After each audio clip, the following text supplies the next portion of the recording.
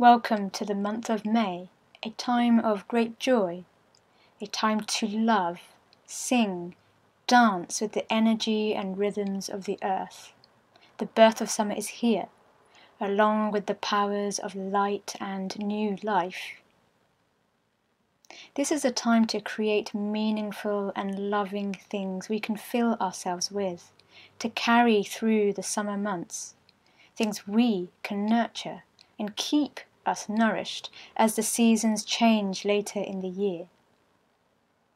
And as we observe the, the earth awakening, take a walk in nature, listen to the birds singing, feel a gentle breeze against your face, see the new leaves budding on the trees, and sense the returning of life of your surroundings. While we celebrate the earth coming to life, may we take a moment to honour our female relatives and friends who have cared for us during our lives.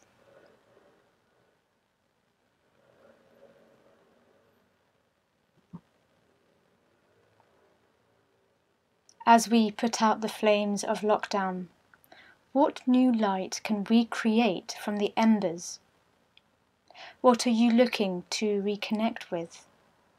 The sparks of creativity you can kindle and unions you can set in motion. Think of what you would like to bring to life at this time. This may be a love relationship, it may be a creative project, it may be a financial goal. It feels like a good time to turn a page and write a new story into being. If you've been dreaming of doing something, now might be a good opportunity to feel the passion in your heart and just go for it, at least by preparing the ground to make it happen.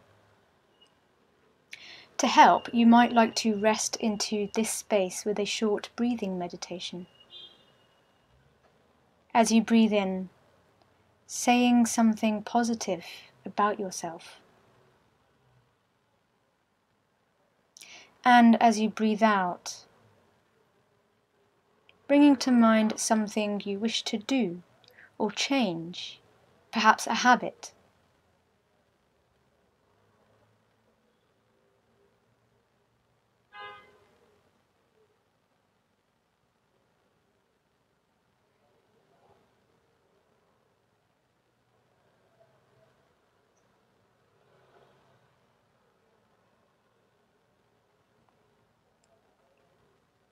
Part of our time on this earth is to serve one another compassionately, with love.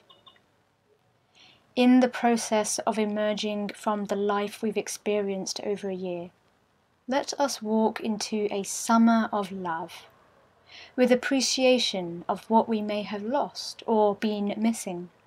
Not to dwell on those things, but to really live in the presence of each moment we experience with gratitude, honoring the time spent with a loved one, a friend, a neighbor, even a conversation with a stranger.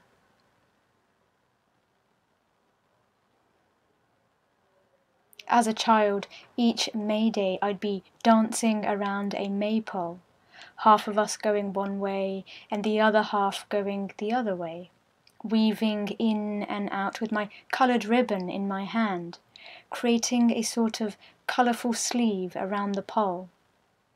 We created something so beautiful simply by carrying one piece of ribbon and joining it with others. What we can do together with joy and love is beautiful. Feel the flame of love within your heart. Send out that love across the world to all in need of its healing power. And allow that love to come back to you. Love is the greatest power of good and for healing in the world. May you celebrate life and allow yourself to love, laugh, play, dance, feast and create only as you can do. May it be so.